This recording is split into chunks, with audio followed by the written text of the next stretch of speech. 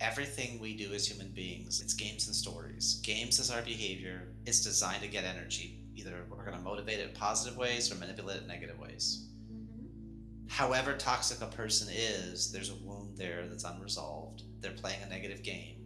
There is a story that is driving that pattern. It is not your job to fix their story, it is theirs. You cannot help them by jumping in the hole and drowning yourself with them. You score no karma points, you score no advantages.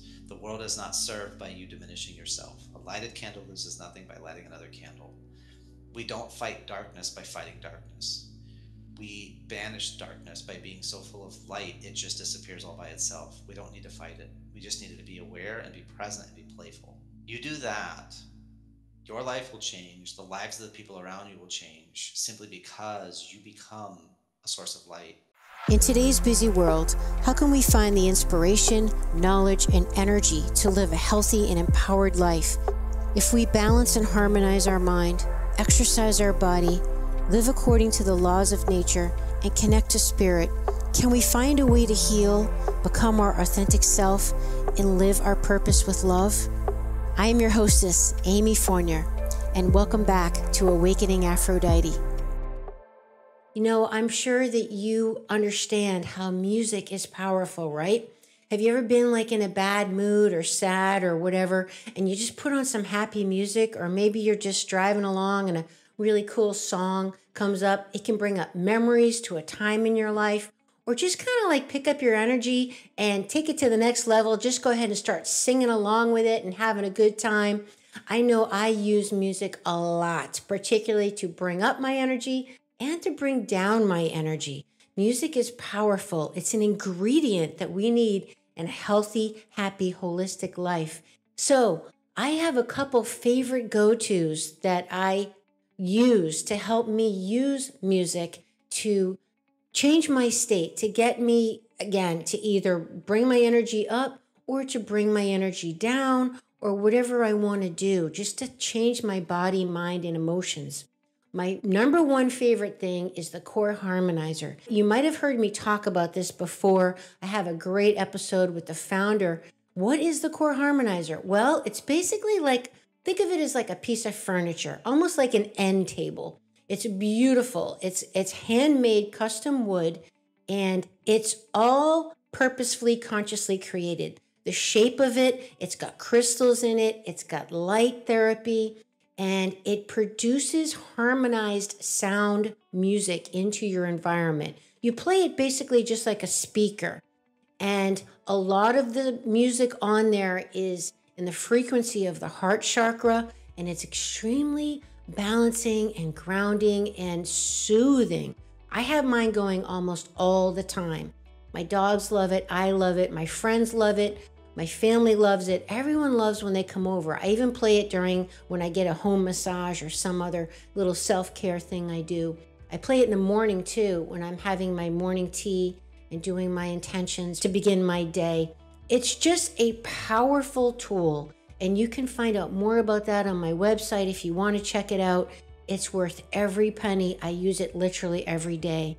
My other favorite sound healing tool is the work of Ian Morris, another buddy of mine who I did two episodes with, and his work with Listening to Smile. That's the name of his company. Why? Because when he played his music, people would start to smile. So when he first started, he named the company Listening to Smile because people would just naturally smile. They just felt better.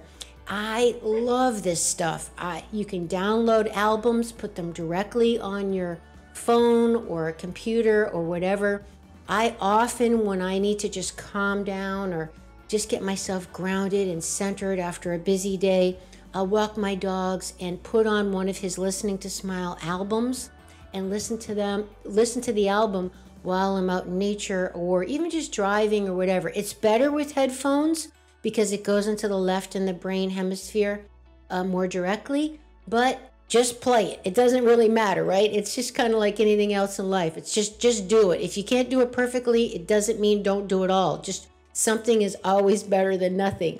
If you can't work out for half an hour, work out for 5 minutes. It's better than nothing. Well, the same goes for music. Just do the best you can.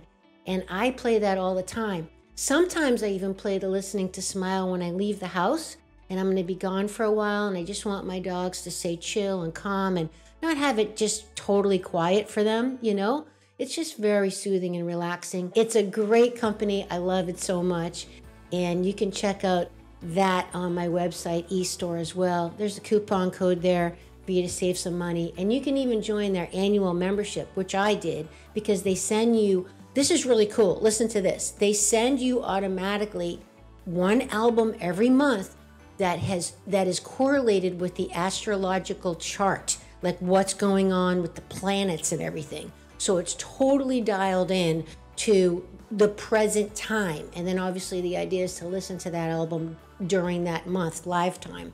And that helps harmonize and align you with the cosmos. Isn't that brilliant?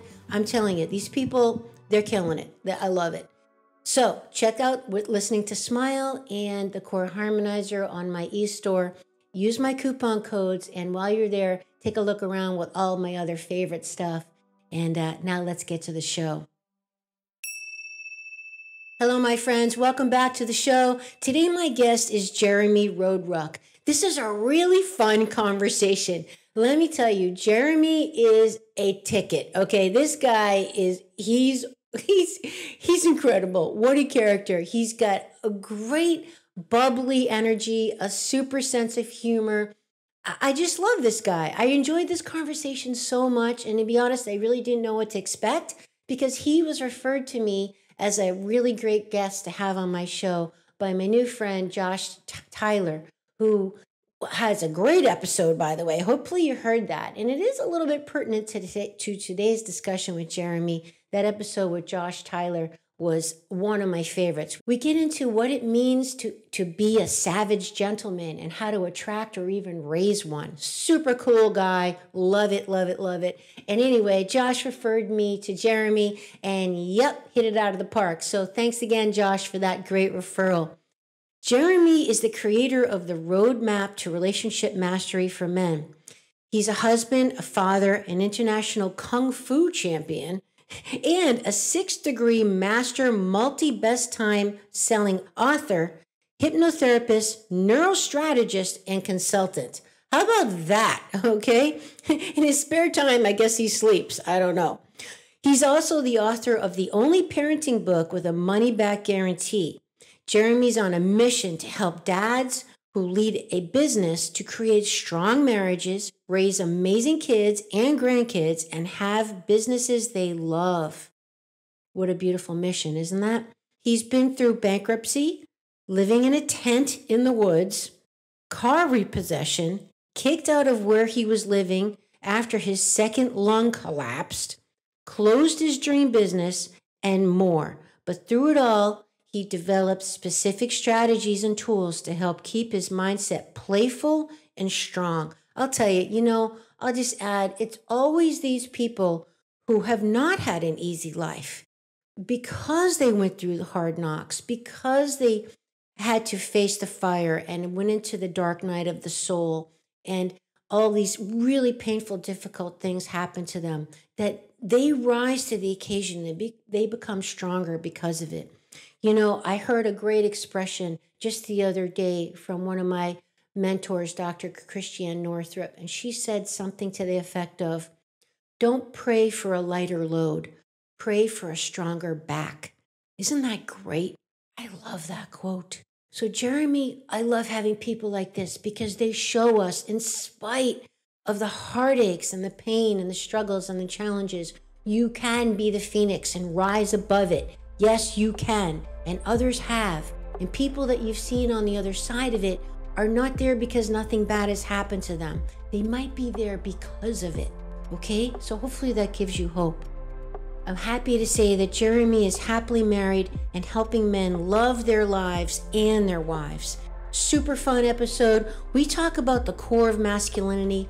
Jeremy shares with us his three P's he also talks about the three tips to please the queen. You gotta please the queen, everybody, whether even if that queen is you. You gotta please yourself. Hallelujah. So enjoy this really fun conversation. Please do check out the show notes so you can find out more on Jeremy.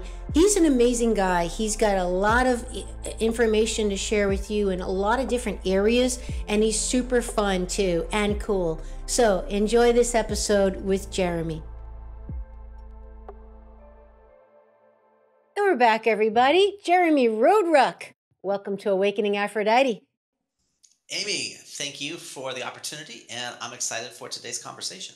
Me too. You know, I've heard you say that appreciation is an antidote to things in life. And why don't we kick it off with a little real time talk, Jeremy, about, you know, life is busy. We all got a million things going on. There's this big push to try to be present in our lives.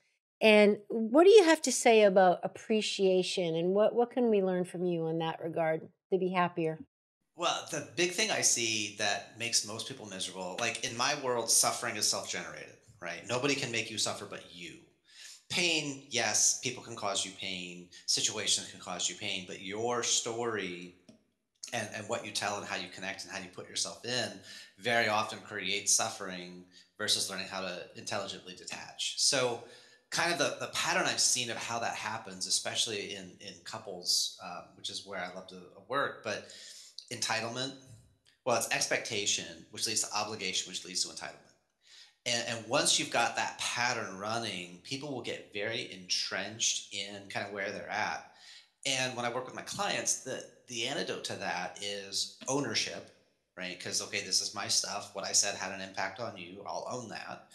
Response ability, which is the ability to choose a response. And then the third is appreciation. Because whatever struggle, whatever challenge we're facing, very often at an earlier stage of our life, we dreamed to be in that situation. And now we're here, and it's like you go on a journey and you see that far distant horizon. But when you get to that horizon, there's another horizon that you didn't anticipate, you couldn't see. And so if we can appreciate the experience that got us where we are and we can appreciate the moment that we're in, and I'm not saying be, you know, ridiculously Pollyanna and, and po- toxic positivity about appreciating it, but just going, man, what an opportunity to raise my standards. What an opportunity to, to calibrate and adjust with this other person or this other situation. And if we can stay in that place, that ownership and that responsibility gets easier because the appreciation opens us up and instead of being all tense and closed off and then we feel like we're in this fight all the time. Yes i you know and i i think of it a lot myself with just kind of like we take so much for granted and just appreciating just the things you know the old saying that you don't know what you got till it's gone type thing you know it's like your body you know you don't ever think about your stomach until all of a sudden it hurts you one night and you're doubled over in pain and you can't breathe and you you, have, you can't think of anything else. But how many times, days, months, years, do you not even think about your stomach maybe for like 10 years until it hurts? And it's the same thing like just in life, right? I mean, you want to appreciate clean air or you know look at the forest fires in, in california and they couldn't breathe for a while the air was toxic and you know pick your poison right so appreciating is such, I think, a beautiful way for us to start our discussion because we take a lot for granted that is of things that are required to even have a foundation of a healthy life not to mention all the bells and whistles you know yeah, well, I've I've been fortunate to collapse a lung twice and be hospitalized 11 time 11 days the first time, 6 the second time. So every night that I go to bed and I don't have a bunch of ho- uh, hospital machines going ping, I don't have medical staff hitting me with morphine and, and Vicodin every couple of hours. I don't have a tube in my side to reinflate my lung. I'm like, you know, last night I didn't sleep that great. I was up every hour. I had some stuff on my mind. But still, my wife is in my bed next to me and when I collapsed my lungs, I was single. Uh, well, I was dating somebody. I wasn't married, but yeah. but it's like it's like my wife is next to me. My kid, you know, my kids are in the house. My cats, like it's it's a whole different vibe. So even though yeah, tonight wasn't that great, but man, it could have been so much worse than it wasn't. So I can appreciate the experience of it and go, okay, what can I do to have a better night's sleep tonight? You know, I think that's such a brilliant way to even look at things that we can all take to heart as a friendly reminder that you know i think a good practice for mental health and hygiene is to no matter how bad a situation is, like you're dealing with something that really sucks, but try to find like one or two good things in that moment to pull yourself out of going down the toilet of spiral of crap. You know what I mean? Like, okay, but like you're to your point, okay, but you know what? I have a beautiful wife I love next to me, and my kids are safe in bed in the next room. Right now, I can't breathe very well, but you know, you're at least finding a couple things to, you know, kind of keep you from spiraling down into the depths of despair. Yeah, yeah. Well, it's it's it's a framework uh, that I teach. Is we start with whenever something happens, like any negative moment in your life, if you just ask yourself, you know, what can I learn from this, or what what's good about this, and and nothing. Okay, nothing. But what could be good about this? And and, and because you ask yourself that question, you begin to neutralize the negativity. Because well, well, maybe it means I should raise my standards. Oh, that's interesting. Well, maybe it means I should be careful who I partner with or who I allow into my life in such a place. Oh, that's interesting. Like just what's good about this begins to change because your instincts are going to be nothing. It's the worst ever. It's Right. horrible. Okay, great. Write that down. What else? What else could it mean? What could be good about this? And just that, what could, opens you to potentialities, right? I had a client who was who was in a place, and I was like, "So, so what's going well in your life? Nothing. Okay, what are you proud of? Nothing. Grateful for? Nothing. Happy about? Nothing. Excited for? Nothing. Okay, what could you be happy about? Literally, no hesitation, my sons. Wow. Because when I asked him, what could you be, it opened him to a potentiality. When I said, what are you? That's present state. And he was not in a good place. So when I said, well, what are you grateful for? Nothing. What could you be grateful for? Opened his mind, opened his heart, and we found something that he could, oh, I could be proud of my sons. I love them. I'm so happy to have them. Oh, dude, there's that gratitude. And one question, because our brain's wired to answer whatever question we ask, it answers. So, like, do you still have a polka dotted tree in your backyard? Your, your brain answers the question, even if it's a crap question, because that's what it's wired to do. Cool, let's leverage that. Mhm. I think that's brilliant. You know, it's funny. It reminds me, I also had a client that just broke up uh, with a very serious boyfriend. The same, you know, like you're in the depths of hell and you don't see anything good about it. But as we dug a little deeper, it was like, well, you know, this will give me a little more time and I can clean out some of my closets. I mean, it was stupid, right? But it was really searching for something that it would open up and allow so at least she could grasp on something good about it, finding some kind of something good about it. Well, it's going to allow me to catch up with some old friends. It's going to allow me to get more sleep. Uh, you know, whatever. I mean, it, yeah, we were at one point we were grasping for straws, but to your point is that we were trying to uh, just eh, you know what I think it's very valuable about that, Jeremy, is it it helps you from being like myopically focused on what you don't want, the problem, which is what we do. We tend to get like laser in on what I don't want, and then you're creating more of what you don't want, right? So yeah, so at least it kind of like I just like that analogy. If you're crawling your way out of from spiraling down, down, down, which we tend to do, our our energy follows where the energy has started to go. So Exactly. yeah, so Yeah, well, part of my life is as a hypnotherapist. And so, what I tell people all the time is all stories are true, and some of them actually happened. yeah, that's great. when we have a moment of impact, right? Then oh, this is a problem. Okay, that's a hypno that's a hypnosis, right? That's we just put ourselves into a trance of resourcefulness. This is a challenge. This is an opportunity. This is a crisis. This is a calling. Those are all different one-word stories that marshal different resources. So if we say this is a challenge or a crisis, or it's traumatic, or it's it's, it's a tragedy, then then we're telling ourselves a frame of reference that we will then maintain identity with. Mm-hmm. If we say this is an opportunity, we've just shifted an opportunity for what? What opportunity for growth, for expansion, for understanding, for compassion. Like that becomes a springboard into all sorts of other stories that we could create. And then the story drives our behavior, what I call games. And it's just, it moves us where in better places. And sometimes, like you said, we get that myopic focus because we come up with this one really strong interpretation and we're in a negative frame of reference. So a negative story is easy. And then it just gets bigger and bigger and bigger. and It just kind of sucks us in. And it's like, wait a minute, if this was a really bad movie, like so bad that you would like get up and walk out and not even ask for your money back, mm-hmm. and then it was on TV for free, would you waste time watching it? Mm-hmm. No? Okay, so then why are you telling yourself the same crap story that you hate about this relationship that you hate and this person you never want to be around ever again? And you're still, that just tells me there's something unresolved. There's a story there that needs to be shifted. And once we do, it can open up new possibilities. And I like that you you're into the story idea because you know we our words are so powerful. I've done many shows on that with like Laura Larnica. We can uh we could put that in the show notes. And I don't know if you're familiar with um oh escaping me Mark.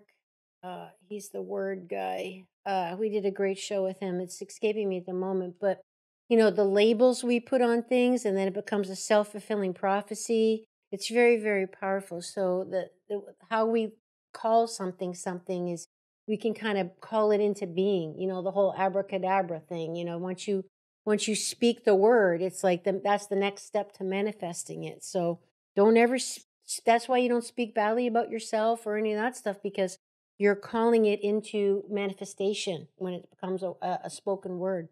Yeah, absolutely. It's it's the process because once you've had a thought that's just living inside of you and you can mm-hmm. enjoy whatever it is but the instant you give word to it or write it down that's you're putting it out into the universe you're putting it out into a concrete structure in some way shape or form and then it starts to become a, a hypnosis because we begin to believe that story so it's like well is the story worth telling is it going to take me where i want to go well that's a crap story awesome so replace it mm-hmm.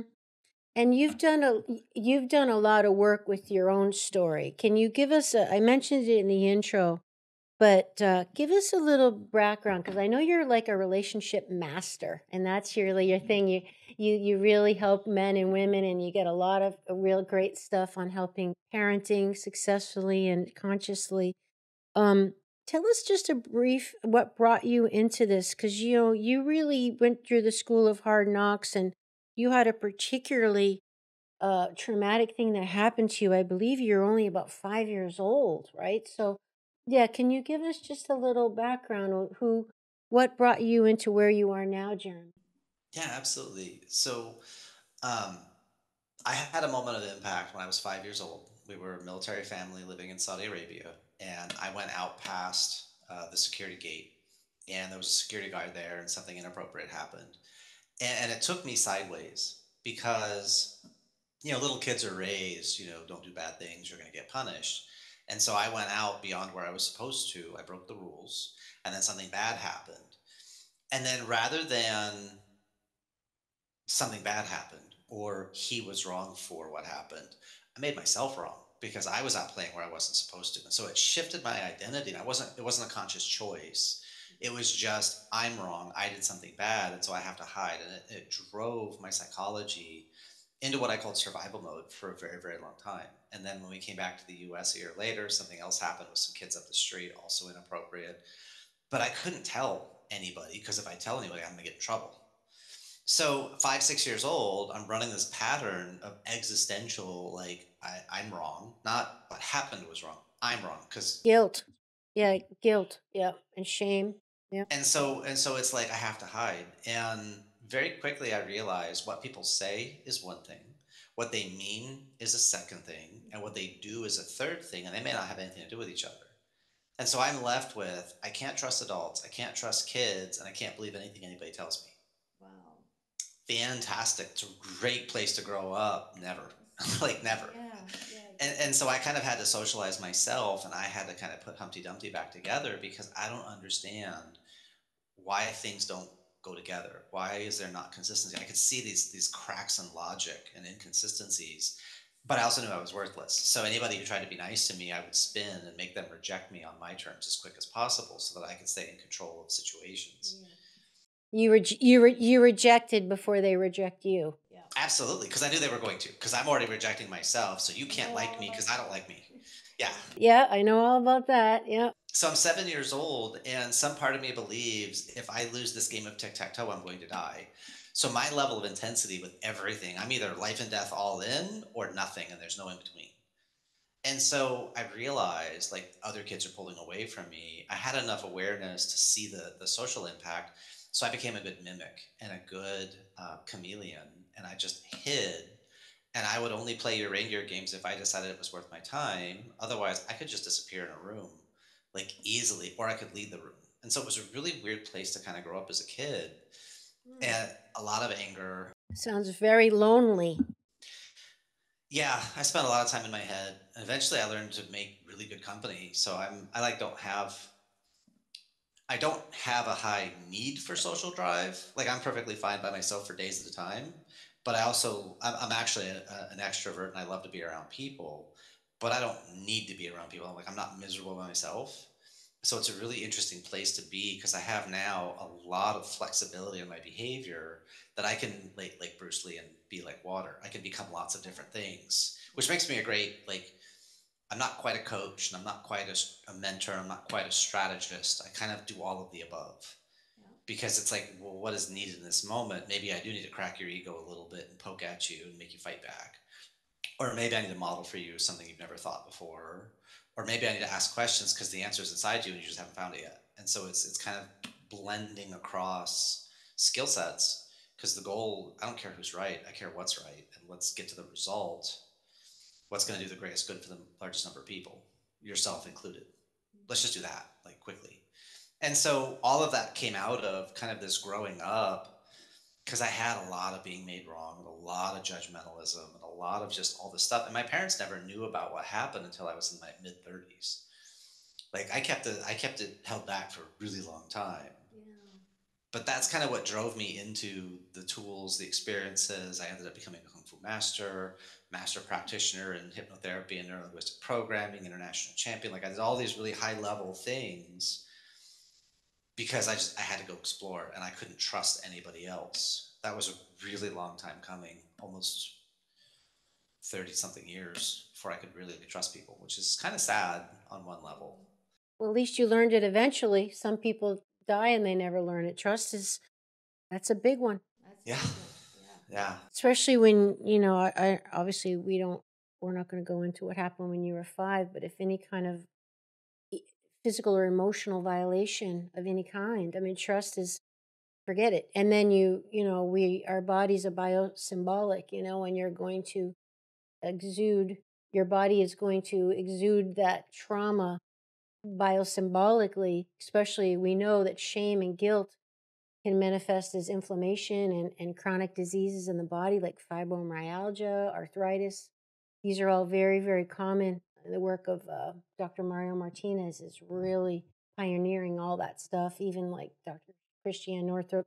I mean, I'm sure you're very familiar with it, but this is, you know, just for the audience is that, you know, we we can't escape these painful experiences, no matter how old we are when they happen to us. Because if you don't move that energy and process it and fully experience it, transcend and include it, as Ken Wilber says, transcend and include it, you're going to just stuff it and then it's going to biosymbolically express itself in a way that you probably don't like.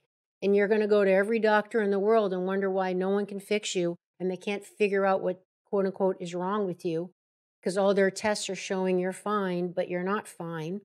You know what I mean? It's but but that that's what the body does because you know we're all here to spiritually learn these lessons and uh, and until we learn the lesson we just keep getting the getting the hammer put down. It's like you're not getting the lesson you know? It's like the person who keeps having that same bad relationship time and time again different person but same situation you know? And that that was me too for a while you know? So all this stuff i've done myself um yeah. But guilt jeremy wow i don't know i'm right with you on the childhood trauma um and then i grew up catholic, catholic on top of that so Yeah. Well, my dad's deacon. uh, My dad's deacon in the Catholic Church, and it's funny because he he and I he and I see a lot eye to eye on stuff. But I came from a Buddhist Taoist perspective and, and kung fu stuff, where he, he went through Catholicism, and, and specifically, if you want to dig into Catholicism, there's a guy named Tad Guzie, and he writes about Catholicism as a sacramental system of expressing of expressing human spirituality. And so this, the sacraments become these kind of milestones or, or way stations that we visit as we elevate as a person in our spiritual growth. Um, and they're little short books that he's written, but they're really, really interesting. Um, but it's it's funny because my dad and I see a lot of stuff the same, just from totally different cultural frames. Mhm. But we both kind of go, yeah, that makes sense. I could dig it. Yeah. Yeah. That's that's interesting having a dad as a deacon. Ooh. Yeah, So, no, it's it's my parents gave me unconditional love because they didn't. I mean, they just did the best they knew how to live live their faith. Um, my mom said, "You may be the only Bible some people will ever read. So, is it a good book or a great book?" And I was like, "That." Like, like years later, I realized I go, "That's a really good frame of reference." Because there's not a lot of judgment in it. It's just a reflexive question to like call out the best inside you of like how are you showing up if you mm-hmm. profess this faith or not that faith? Because i didn't get confirmed in in catholicism because i had some some reservations about some inconsistencies and my dad was the deacon and, and you would think you know social contract and and people would put pressure on him and you know what's your son doing? And my parents both said well at least he has enough strength of character to follow his own thinking. Right on. right? And so they didn't force me to kowtow or, or you know, I'm gonna profess this faith, but I don't actually believe it just to like get the kudos from them. It's like, nah, I don't care. I don't need your approval. Well, that shows a lot of emotional maturity for your parents not to have you, their child, be an extension of them in the eyes of other people, you know, which is where the controlling your kid comes in, you know? yeah, So, that, yeah. that never would have worked with me. Yeah. Good. Good like for them. when I was when I was when I was four, before the before the stuff that went sideways, like I was raised on the leash because I'd run into traffic because I'm like curious about everything. I'd fall asleep standing up because I like just I'm excited, like what's going on, what's happening. Uh, wow. Yeah, so I was I was my own person from like the Yeah. rip, and yeah, you, you came out that way, huh? That's awesome. pretty much, yeah. Are you an only child? No, I have. Uh, uh, I'm actually technically I am number seven of ten, but only two of but only two of us made it to birth. Oh, Um, wow. Oh, Yeah, my. my. mom got pregnant four, uh, three times. My brother was number four, and then two more than me, then three more, and then she got her tubes tied um, because just her body just couldn't handle um, handle the experience. So that led to some guilt too, because when I found that out at like eight or nine years old, it's like, why am I alive? And I hate my life, and I hate me, and I hate all this stuff. Why am I here? And I've got eight siblings who aren't. How effed up is that? So that that was fun. Like like More rectifying guilt. that. That's Yeah, like yeah. even more guilt. But it, but that was all my story. Like I Yeah, chose. I have to uh-huh. live for six of them. My brother can live for for for two of them. Like I chose that story. Like nobody made me. And why? Who's that helping, Jeremy? Shut up. you know, like Yeah, that's really mature of you, Jeremy. Jeremy, with your clients, what are some of the common stories that you hear nowadays? And like, how do you help people overcome them? So I'm sure, you know, just to relate to the audience, some of the some of the things, let's just say, Jeremy, that we don't think that are stories. We're like, oh no, but this is true, Jeremy and Amy. Like, this is my life. Okay, like, but in your in your opinion, what would you say? Well, actually, that's a story, you know? yeah, yeah. Well, it's all stories, right? And and the reason I say that, I'll preface that with this: the unconscious mind runs two million to eleven million bits of data a second. The conscious mind only goes twenty to one hundred and thirty-seven. So we are distorting, deleting, and generalizing literally every single second of our life. So whatever we're experiencing isn't actually what we're experiencing it. Once we can like create the consciousness of it, it's an internal representation of what just happened because it's already been filtered. Mm-hmm. Then we give language to it, which is a second level of filtering. So what we're actually verbalizing is already distorted based on what we already filtered from our unconscious because our internal our, our our processing systems are so much faster than our conscious mind can keep up.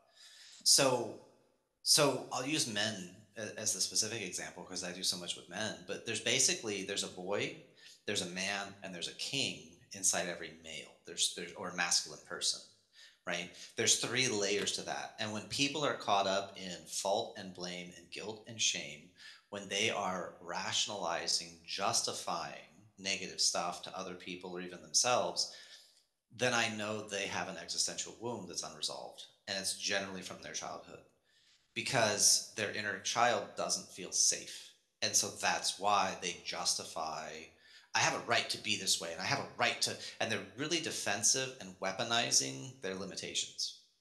Like, I can't be that way because something happened, because life is unfair, because of some label, some story, some justification, some rationalization and, and those things may well and be true. I don't know because it's their life, it's their experience. I'm not here to judge that. I don't. I'm not qualified.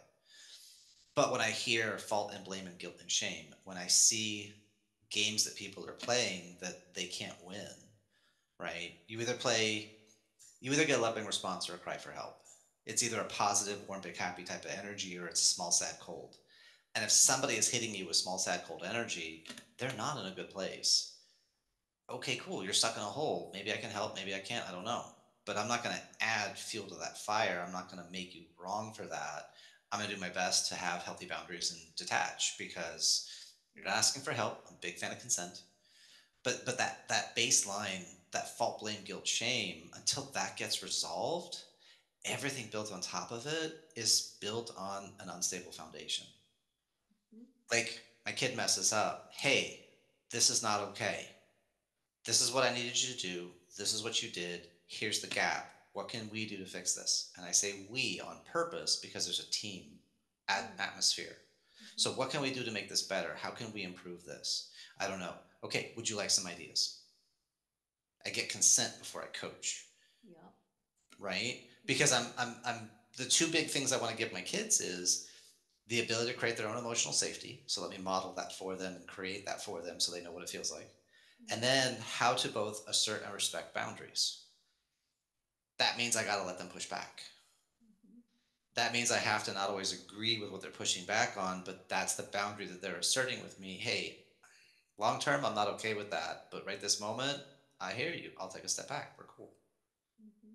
Because I'd much rather get results with my kids than be right and hammer them into some some sort of compliance to some sort of program that I have in my head. That might not be who they are, what they need. How old are they? Uh, my stepson's 14 and my daughter's nine.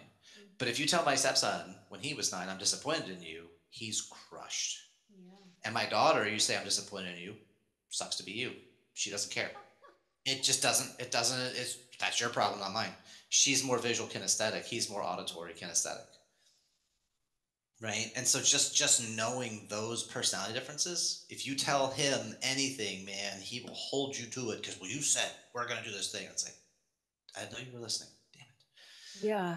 But my daughter doesn't. She doesn't hold. Like you have to draw it out for her. You have to give her the picture, and then she gets it. But if you just tell her, it, it falls out, and it's not attention deficit. It's this is her pattern of learning, different than his, mm-hmm. right? And I would think beyond even a pattern of learning, to me, just from what I've heard, it sounds just a sensitivity. He, your son sounds very sensitive. Yeah, he's he's wired. Just he's auditory.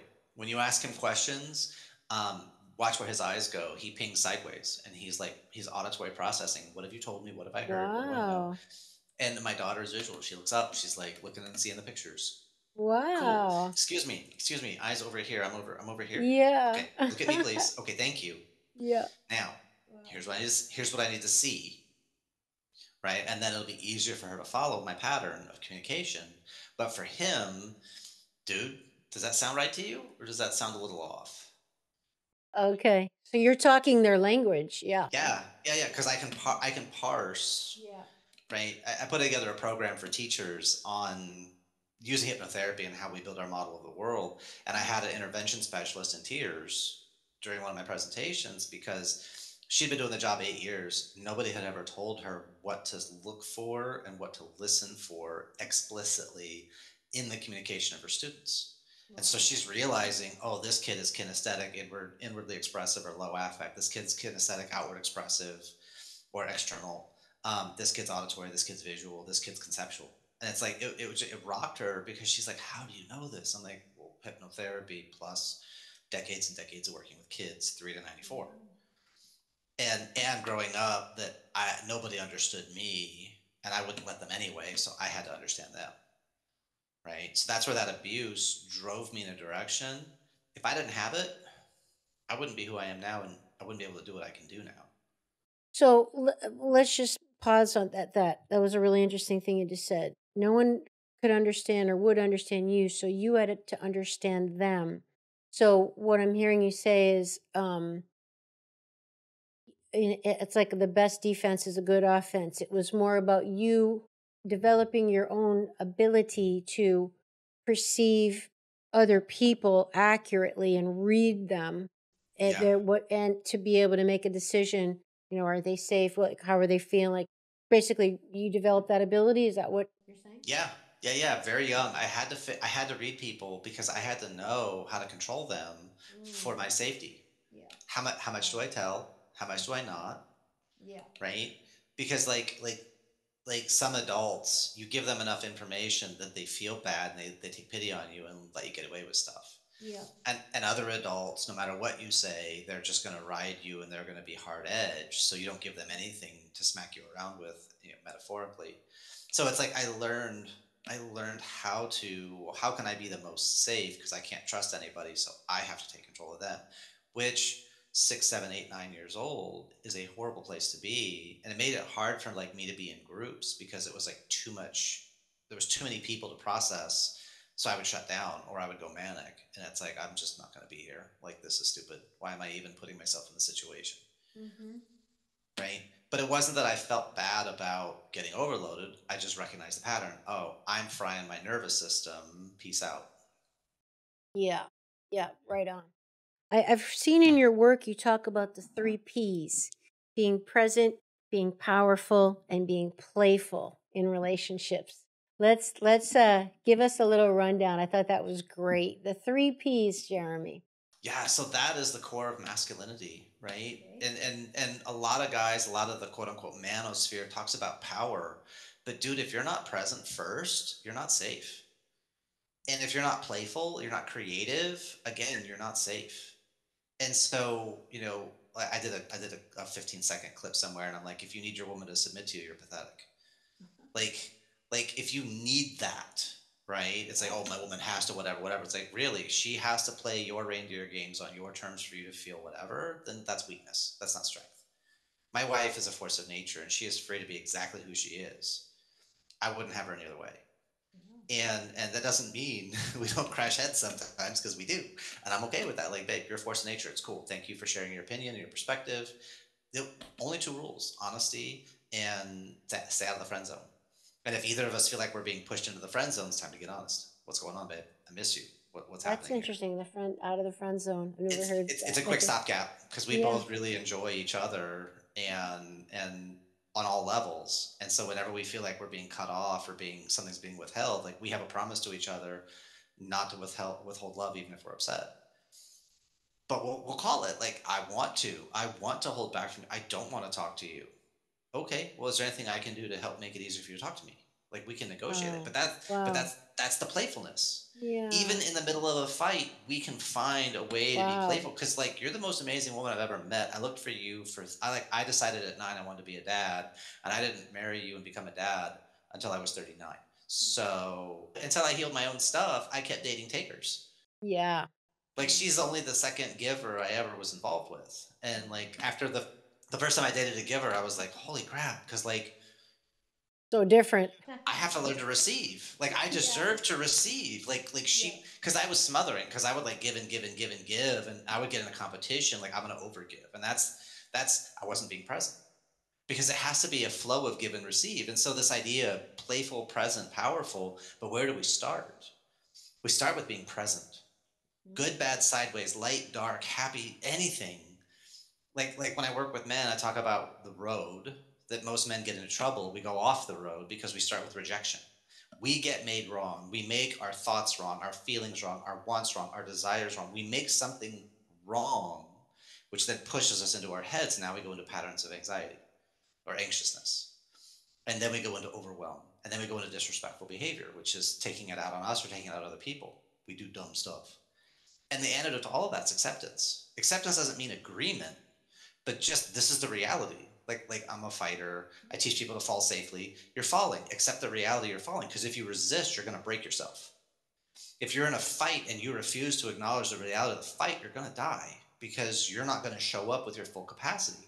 You don't have to agree with the experience, but at least acknowledge that you're there because then you can enter into the conversation and take control or guide or disentangle or whatever the case.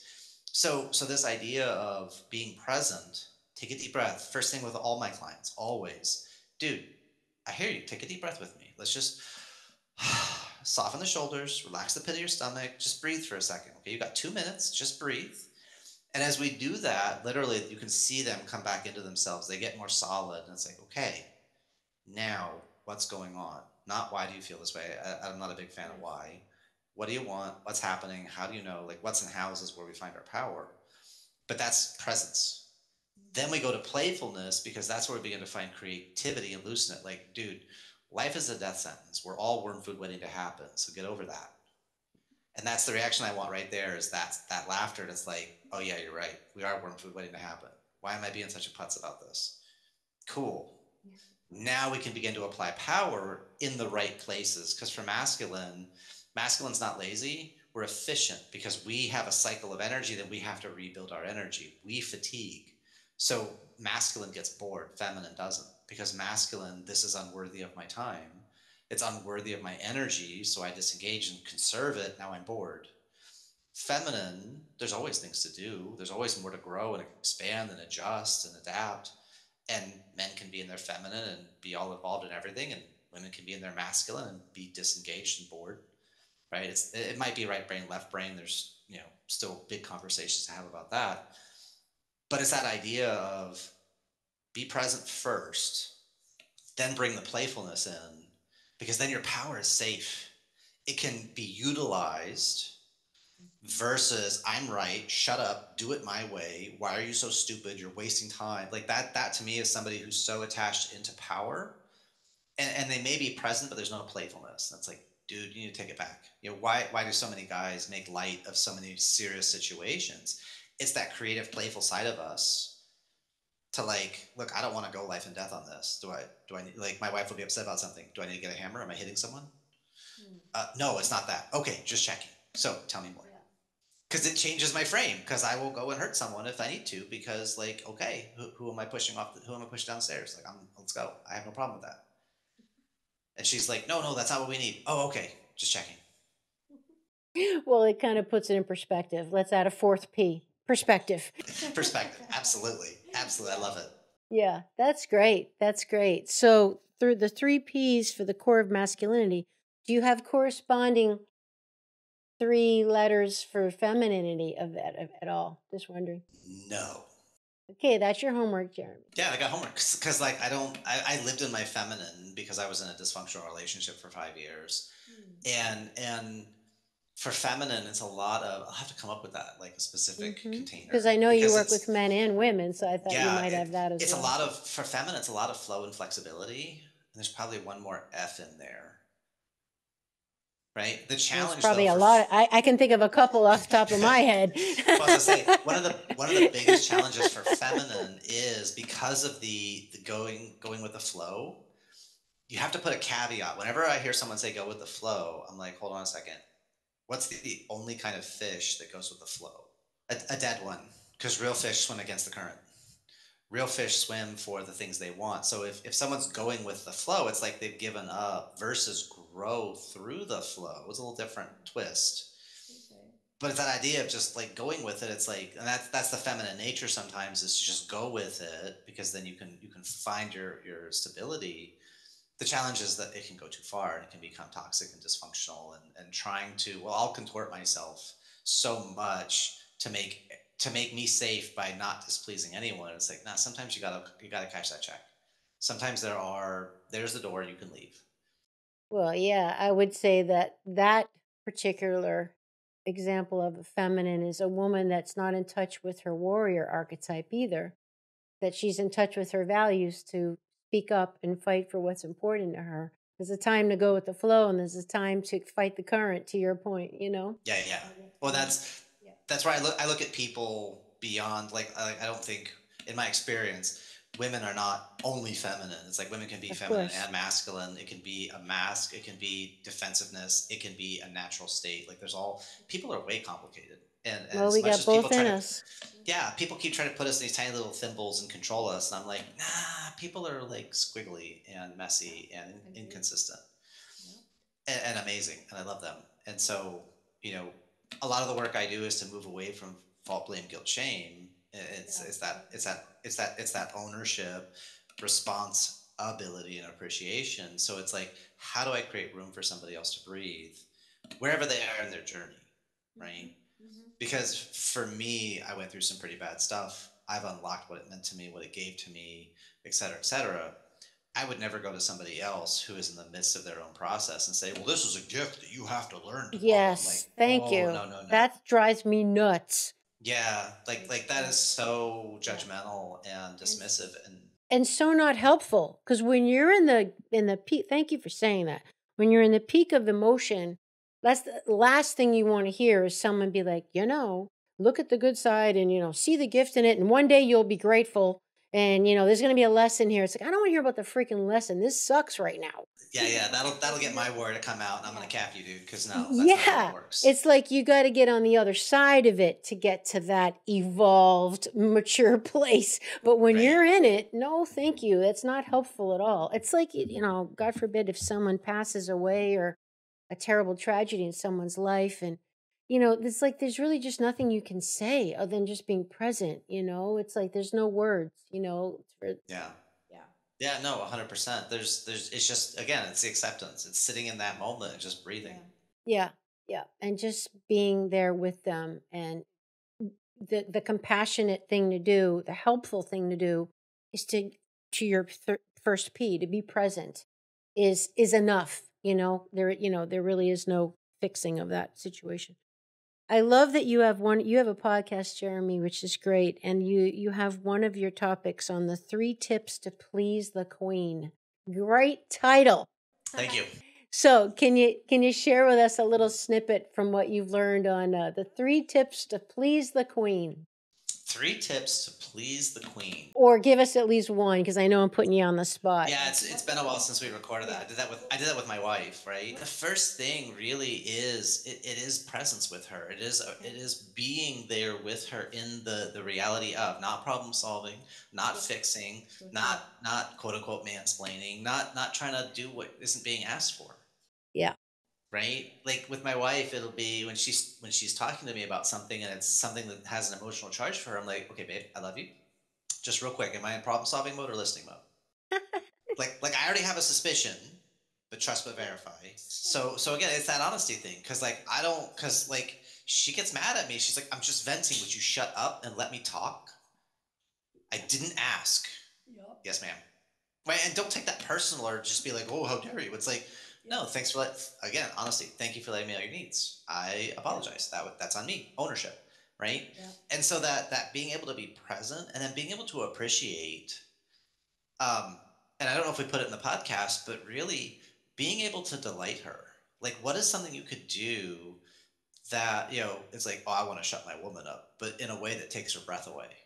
If you make that a game, of like what yeah absolutely it's like you make her like catch her breath and like oh honey and, and she feels uh, that i have what i call the six golden tickets but she feels seen and heard and understood and appreciated felt and and then supported. Like if you can do those those first five then this, Yeah. then she'll receive yeah because like a lot of times people get into a conflict because they're offering support without being in rapport and so it's see hear feel think and then appreciate is the gap and then we've got the um, then we've got the support you can offer so when they're attacking you or they're pushing back against you or stonewalling you or whatever what they're telling you is you're out of rapport with them.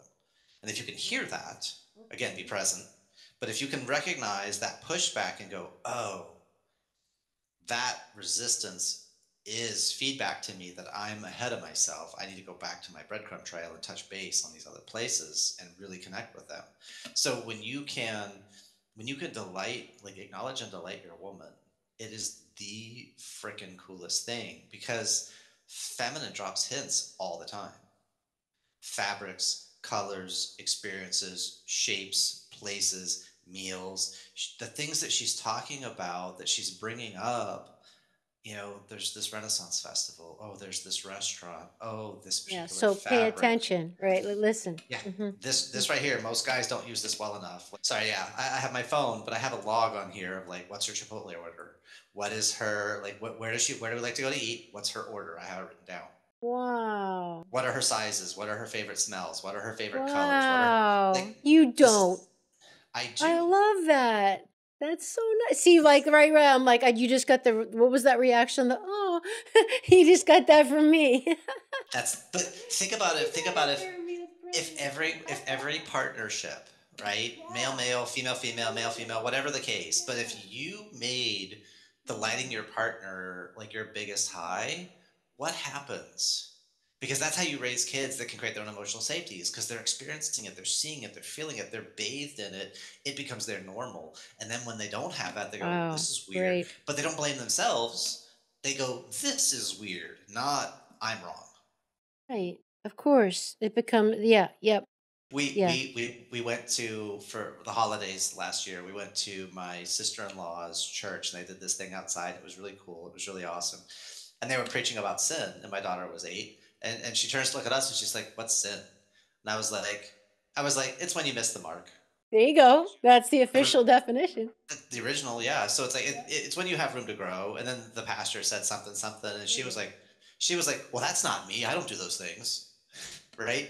And and people might hear that and think, oh, you know, the pride of sin. It's not the pride of sin. It's she doesn't hold petty jealousies. She doesn't try to mess people over. She's not in a place of scarcity to doesn't argue lie, cheat, steal. Yeah, that's fantastic. I love it. That's so cute. I just I think the things that kids say are the, the greatest. There, I always say our uh, our our pets and our kids are our greatest teachers. The things that come out of their mouth and things my little dogs do. It's like it's just uh, it's just so great. That's what I tell parents. It, it be a guard and a guide for your kids. If you're a guardian and a guide, let them be your teacher. Because oh, you think you know what life is, mm-hmm. right? And then like you're busy going somewhere and you're stressed out of your gourd and your kid's like not reacting and you're like mad. You come over and yell at them and they're like, "But there's ants. They're eating gum." And it's like the coolest thing in the world. And it's like, do you ever want to live your life so busy you can't stop for a second and just go, "You're right, dude. That is cool." That is cool. Like when we moved to Florida, like there's cranes, there's lizards. Like I'm still juiced about seeing lizards randomly running around doing stuff. And yep. we've got a we've got an inside outside cat. She doesn't know how to kill lizards, so she brings them to us. She's like, here. I don't know what to do with it, but here. And so we've had like I think eight or nine lizards brought into our house because. But they were alive, right? Because they bring oh, them yeah, alive. They were alive. Yeah, they're alive. yeah. Take them back out. Yeah. Yep. Yep. Thanks, yep. cat. Yeah, but that that's your cat loving you. Like, look what I got for you, Daddy. It's my contribution to the family. Yeah, because we're bad cats. Like awesome. I, I read a thing that says dogs understand we are not dogs, and they like us anyway because we're fuzzy and cute. Because they they literally have the same oxytocin dump when they see us that we do when we see them. So to them, we're fuzzy and cute. But cats see us as like themselves. We're just big and and clumsy and incompetent, and that's why they bring us food. Is like, here, you pathetic thing, eat this. And like, yeah, yeah I can see that we, we could get into a whole discussion about cats and dogs. Let me tell you. I love. They're both awesome. I'm an animal person, my friend. You know, Jeremy, I just got to go back on all that great stuff you just shared about creating emotional safety and you know creating the delight in the in the female uh, in the for for the female in the relationship and your partner, and everything that I just experienced with your method, the, the delight you created in me and thinking that you've got on your phone this list of things that your wife likes so you can remember to do them to create delight in her is so endearing. And what I felt happen in my body was a softening take place. So I think the lesson here for us and to share with our audience is that for any men listening or whatever, and you know, the, the show Awakening Aphrodite is helping women and men get more in touch with their feminine nature, their receptive, trusting, allowing, soft, intuitive nature. And when you said what you said, I felt a softening in my body. And I know a lot of women that are driven and mission focused and wanting to, you know, help the world be a better place and all that. My big part of my audience. Um, you know, we need help, you know, really getting that feminine more online and par with that masculine. So we go home to a partner, usually, you know, heterosexual most of the time, let's just say.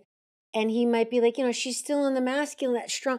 Well, here you go, guys. Jeremy's technique of bringing in this is a way to get the woman to soften because right there I was disarmed. Like I was like, oh, you know, I just melted in my chair a couple inches down. So I just just to share that that's very effective.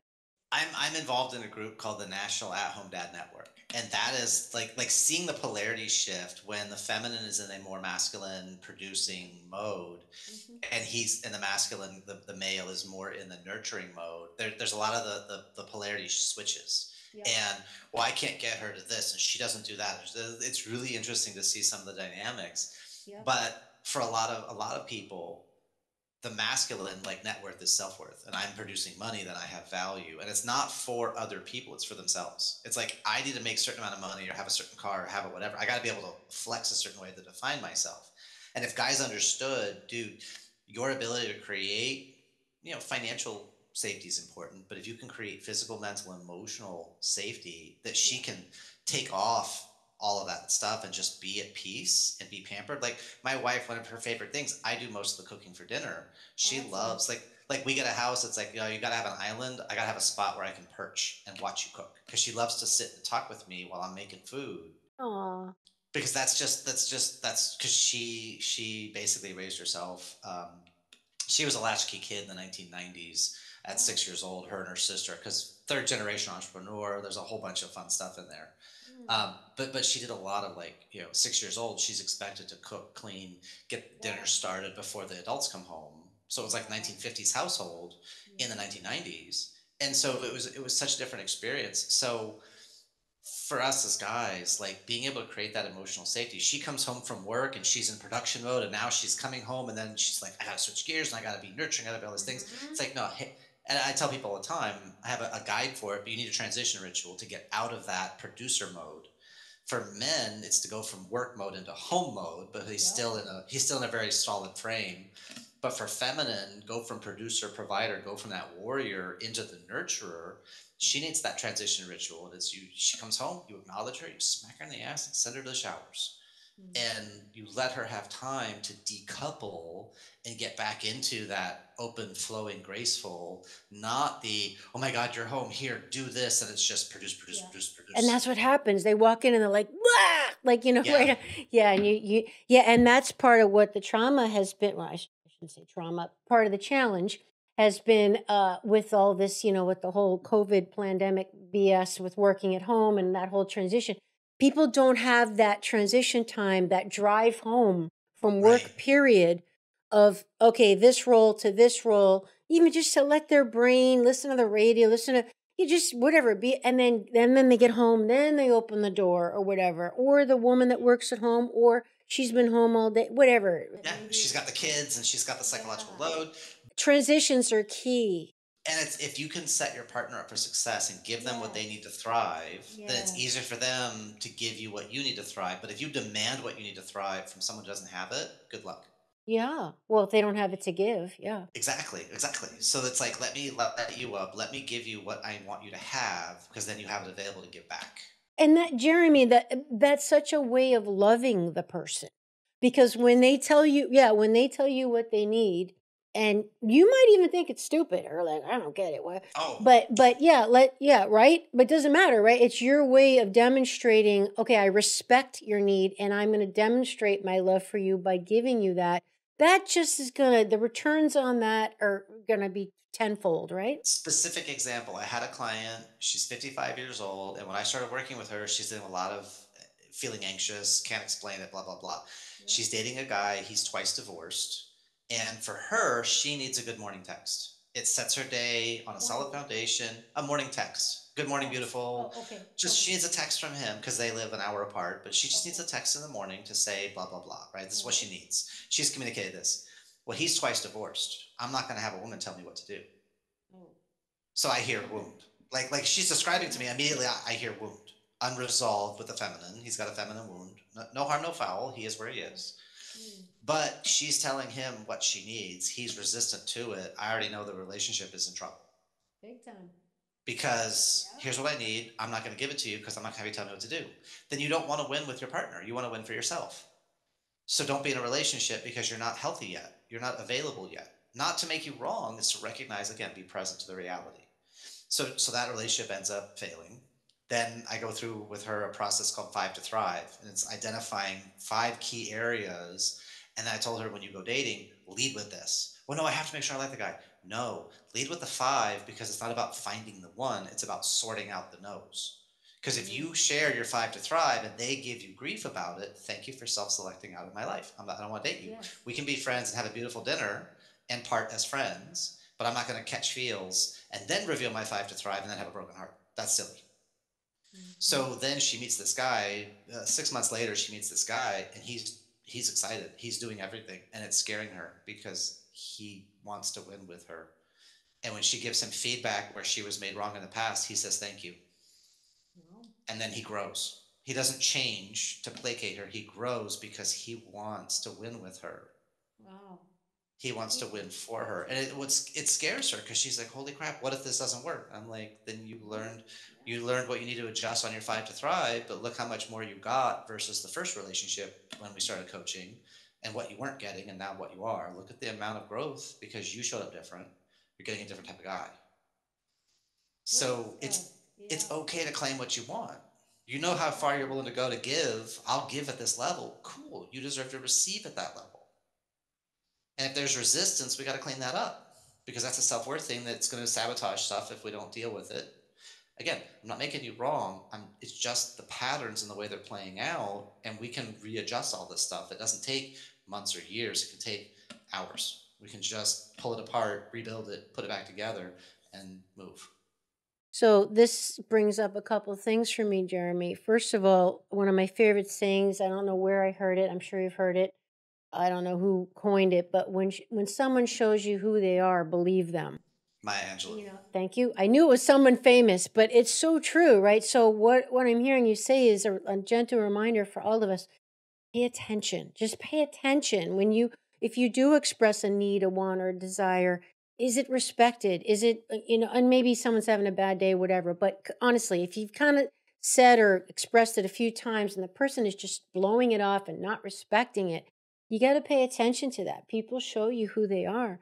And it makes me also remember one of the most popular episodes on my show with Alison Armstrong. I can't quite remember. Love remember. Alison. She's a she's a she's the real deal, right? And that yeah, we'll put it in the show notes for people. But she talks about how she tells people similar to your five to thrive for people who are dating and finding someone compatible.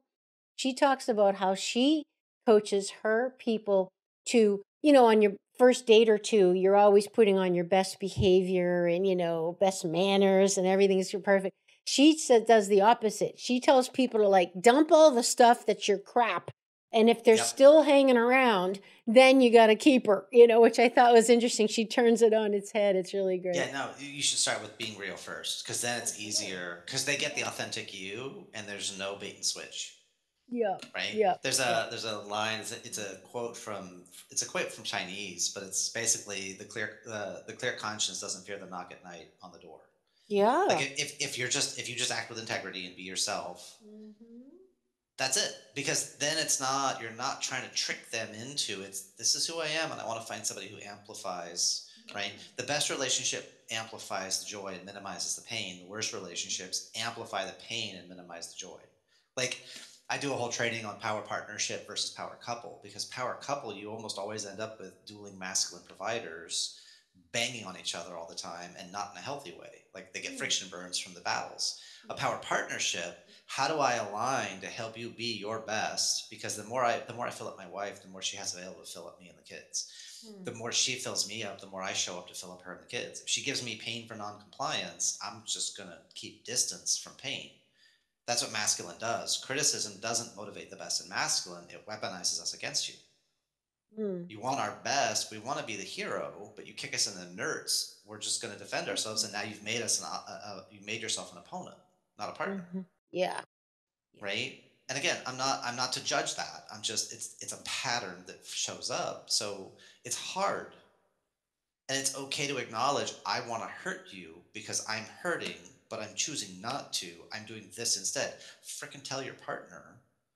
And they go oh crap i didn't mean i i'm, I'm so sorry. I don't want to be like this with you. I want something different. And then you can create and co-create something better.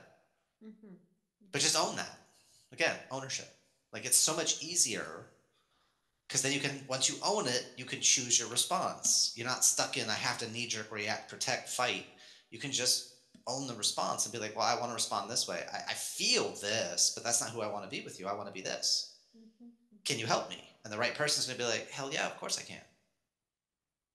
I love The wrong this. It's person's it's to push you and punish you. It's like, nerf that. it's uh, it's this is also important, Jeremy. And uh, you know, I wish as we get toward the end here, uh, w- what is always a constant theme with any re- discussion about relationships is the absolutely essential component of having a foundation of safety because everything you're saying we can't be honest we can't talk about really what's really bothering us and what we really need. If we think we're going to be judged or to your point it might be weaponized against us or whatever right? I mean this happens a lot in relationships right? It's like your emotional blackmail or or you just care what the other person thinks like a man might think she might think less of me or whatever. This all happens. It's all normal right? Oh, 100%. what would be your advice to help us to get to a place where we can cultivate a relationship where we are safe or maybe even take it a step back and to know am i safe with this person i mean like there is do you think jeremy there's a reason why people might not be going there emotionally to that real vulnerable place because in the back of their mind they're thinking i'm really not safe with this person or is that projection i mean what how do we unravel this safety issue that's required for a really good relationship Yeah, so so two things. One is you have to make a promise to yourself. Do I want to be right or do I want to get results? okay Okay. And if you are committed to being right, then continue doing exactly what you're doing. You'll keep getting what you what you've always got. Right. I have guys that argue, but I wasn't wrong. I'm like, but you're sleeping on the couch. Is that the marriage you want? Mm-hmm. Congratulations, you were right, and you're on the couch. Right. The the one time my wife and I got into a real big argument very early in our relationship, she woke up at 2 a.m. because she went to sleep on the couch because she was mad at me and I was asleep on the floor. Because I had the five year relationship where I spent two and a half years sleeping on the couch every night because, oh, I breathe too loud and trying to placate her and please her and da da da. I'm like, I'm not going to have a relationship where we withhold from each other.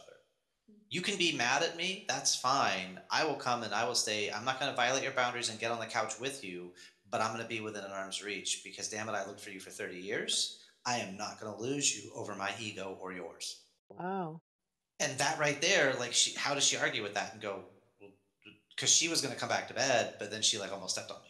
And it's like, we had, we laughed about it and had a really good conversation at two in the morning. But it's like, no, I'm going to fight for you because, oh my wow God, woman, I've looked for you for literally 30 years. that's amazing And, and so it's, but I want results. I don't want to be right. I'm willing to get out of my own way. I'm willing to take ownership and say, I screwed up. This is on me. but you're committed you know and you're you're all you're all in yeah I don't date, I relationship, right? okay Then the, the second piece is when I work with clients and we do the existential stuff, we unravel anger, sadness, fear, hurt, guilt, because we've got to get to the fundamental guilt. And every human being has the same existential hinge point until it's resolved, which is one of two flavors. Either I'm not enough or I'm too much. The corollary to either of those two beliefs is I won't be loved without love, I'll die. Yes. And so if I'm not Mm. enough, then I have to become more and I have to live this false thing. Yes. And that's where people get caught up in imposter syndrome. If I'm too much, then I'm constantly second guessing. I'm constantly holding back. I'm constantly placating and people pleasing because I can never say what I truly want. And the fact that somebody's in a place in a relationship to say, I don't feel safe to say what I need or want, that already tells you you're not in a good relationship. Mhm. But if I don't have love, I'll die. And the hell I know is better than nothing at all. And my answer to that is no, nothing's better than pain. I lived 20 years in anger and defensiveness and all these things. No, choosing and learning to be comfortable in and of yourself as your own person and healing your own stuff. Because once you've removed, I don't need to make my wife guilty. I have no drive for that. I have no desire for that. I have no intention to punish her. I have no need to punish my kids or shame my kids or embarrass my kids. Get their frickin' attention, yes. Play a role to let them know the impact of what they're doing, yes. I can be loud with them, yes. But at the end of the day, I'm glad you're alive. Thank you for being in my life. You're an amazing kid. I'm lucky to have you every damn night because it's the truth. And so if we are in a relationship where we can't speak what's inside our soul, we got to deal with our own stuff first. Am I in a clear place? Am I caught up in fault, blame, guilt, shame? And I got to go get that healed. Once I got that healed and I say something to my partner and they weaponize it back against me, that's their stuff. are they getting that addressed? And if not, now I have a decision because I can't save them from the from themselves. If they have a, a leaky hole in their bucket, I can't plug the hole for them. That's dysfunctional. You complete me as dysfunctional. You amplify me. You grow me. Those are different. But you complete me, then there's a gap in there that needs to be addressed and cleaned up. There's that that's dysfunction and that's not sustainable or healthy. Agreed. And if you're raising kids in that environment, it's even worse because now that's where the generational stuff comes up because the kids normalize that dynamic and go, oh, that's that's what's supposed to happen. And then they go mm-hmm. out and create that until they get it resolved for themselves. Fantastic. There's so much great stuff in there. I can see why you're such a great coach. Uh, and uh, I love all these little colloquialisms and phrases that you've come up with is really fun. Jeremy, thank you. This has really been, I, I think, very valuable for a lot of people, guys. I hope that uh, you share this with uh, with people that you think it's going to help, and uh, do check out Jeremy's uh, website and his work. That's in the show notes. And Jeremy, before you share with us how they can find you, is there anything else you want to mention that would help you feel complete today, or you feel a need to share? The the one thing I want to leave you with everything we do as human beings, those only two things. It's games and stories. Games is our behavior. It's designed to get energy. Either we're going to motivate it positive ways or manipulate it negative ways. Mm-hmm. However toxic a person is, there's a wound there that's unresolved. They're playing a negative game. There is a story that is driving that pattern of behavior. It is not your job to fix their story, it is theirs. Right? You cannot help them by jumping in the hole and drowning yourself with them. You score no karma points, you score no advantages. The world is not served by you diminishing yourself. A lighted candle loses nothing by lighting another candle. We don't fight darkness by fighting darkness. We banish darkness by being so full of light, it just disappears all by itself. We don't need to fight it. We just need to be aware and be present and be playful. Mm-hmm. You do that, your life will change, the lives of the people around you will change simply because you become a source of light. And then the last thing is to mirror the light back to people because so many times we delete our own amazing magnificence because we're so wrapped up in, well, this one little thing's wrong. Like when I talk Kung Fu, there's 16 details to throwing a punch. And I want you to leave class today with one detail that you know you did right that you can carry forward. I don't want you to worry about the 15 you did wrong because we'll get that over time that's not a problem. You just need to keep showing up.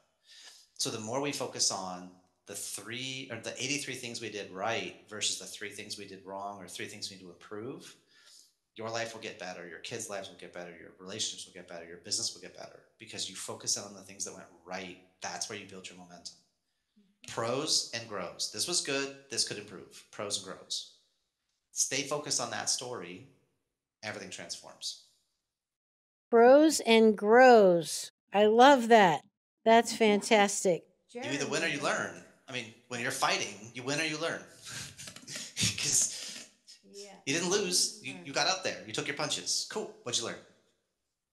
Yeah. Yeah. I'm just kind of processing that. It's really true. Yeah.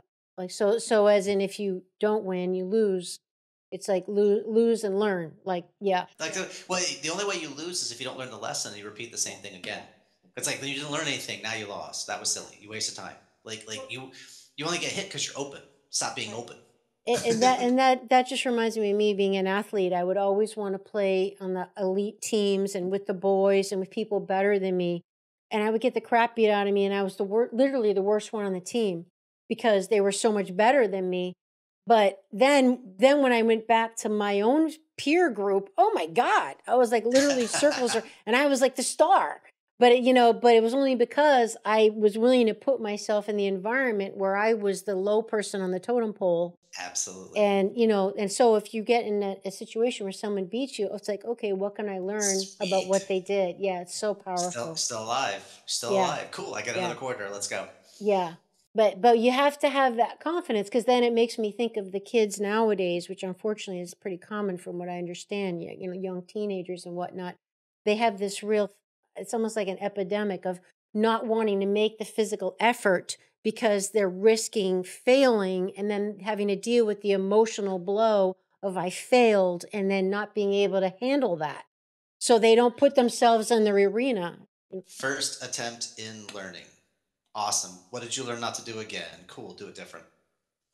That's a story. Okay. It creates a game, right? We're, we're raising a generation at effect. They're at the result of versus being at cause. And it's an easy yeah. shift. Just mm-hmm. once you mm-hmm. have the awareness, you go, oh, I'm living at effect. Yeah. Instead of being the boat, you're being the water pushed by the waves. Cool. What would it take for you to be the boat? How could you? And not you have to be a speedboat, powerboat, motorboat, cruise ship, but you act on the water. Cool. What do you want to do? Let's go explore that. Right? Success, think about success, it's wrapped in failure because failure is learning what not to do. I call it the success you're not looking for. When should you stop with the success you're not looking for or the success you are looking for? Because the fact you you made an attempt, you put effort out, that already is a win because you're lapping everybody sitting on the couch waiting to be perfect before they start. Mm-hmm. You don't have to start to be great. I'm sorry, you don't have to be great to start. You have to start to become great. Yes. Yeah. Yeah. Yeah. And that's there's there's okay, you're embarrassed. Cool. Suck it up. Rule 77. Suck it up, buttercup. Let's go. Yeah. Yeah. And to me to me it's about, you know, either way you're going to be in pain. You can you could pick your pain. You can either be you can either be in pain eh, because of the inertia of not doing anything and then feeling bad at yourself that you're not getting in the game, literally or figuratively, of life. Or you can be in pain because, okay, maybe you're going to lose or get beat up or feel embarrassed or whatever. So you can be in pain either way. But one pain might lead to a hmm. greater glory. The other one Absolutely. is isn't. So I would rather take that 50-50 chance myself. Amazing. Absolutely. Jeremy Roadruck, incredible. How can people find you? Where would you like to direct our audience for more of you? I am the only Jeremy Roadruck on the internet, so I'm super easy to find. Wow, that's lucky. well, there's only about 300 Roadrucks on the planet, so that's helpful. Wow. Too. It's a it's a derivation of like it's a German name, and there's like there's like eight or nine variations on it, but the Roadruck one is is small. Um, so yeah, Google me. You'll find me everywhere if you want to grab some time, it's it's it's in the show notes. Leadlikeaking.com slash book hyphen now. Um, I'm mostly active on on Facebook. I've got a presence on Twitter, um, and I have a YouTube channel. And I'm talking constantly about mindset, like like peak performance relationships and mindset mastery. That is my jam. It's all games and stories. Mindset, and mindset, if you're suffering, baby. you don't have to. Like you just don't but but we need to rewire some things and so there's a couple different ways we can do that if something here landed please comment encourage interesting stat i heard actually from from josh tyler savage gentleman most men will not comment on social media except stuff they disagree with if they agree with it they nod their head and ignore it oh, that's right and they move on they don't they don't be a mirror, reflect the light. Like we need that engagement to get that story spread out. So guys, if this landed for you, gentlemen specifically, frickin' comment, share, like be involved in the conversation. The world needs more good men to stand up. Right on, amen. And that's what it's about. It's about, you know, helping us bridge this understanding for each other because I think ultimately we all want to be in harmony. We all want to bring out the best in each other we want to understand because a lot of the a lot of the problems are just misunderstandings you know so yeah. if we can be part of bridging that gap i mean we're going to be more powerful together that's for sure yeah i would love to see 8 billion people cooperating instead of competing we could solve generational problems literally in one generation and we would solve it for the rest of human consciousness forever and to your point it takes speaking out like be engaged in the conversation like like say yes i agree or share it or whatever like rather than being passive you know it's like participate Absolutely. participate Absolutely. yeah powerful stuff okay everybody if you enjoyed the show you know what to do share it with someone else so you can do what we just talked about is getting this stuff out there and help the world be in more harmony and more power and love and jeremy thank you so much for being on awakening aphrodite today amy thank you this has been a pleasure Awesome. Okay, everybody. We'll see you next time. Bye bye. Would you like to support my mission to help empower people all over the world to be all of who they truly are? If so, please subscribe to the show, leave a review on iTunes, and share it with a friend. And if you're looking to take immediate action to align your energy and optimize your health, visit amyfournier.com. Thanks for listening to Awakening Aphrodite. Let's awaken her together in you. I'm your hostess, Amy Fournier, and I already can't wait to be with you again and for you to hear what I have planned for the next show. Thanks for listening to Awakening Aphrodite with Amy Fournier. To learn more about Amy, check out her website, amyfournier.com. That's A M Y F O U R N I E R.com. You can also check out Amy's live and on demand virtual fitness and yoga classes and sign up for her newsletter to receive a free mini ebook of three of her top tips for making holistic health a lifestyle. Again, that's amyfournier.com and get your ebook sent to your email immediately. Connect with Amy on the daily on Instagram at FitAmyTV, F I T A M Y TV, and watch many of the podcast episodes and subtopic clips on her YouTube channel, which is also Fit Amy TV. Enjoy, and we'll see you next time on Awakening Aphrodite.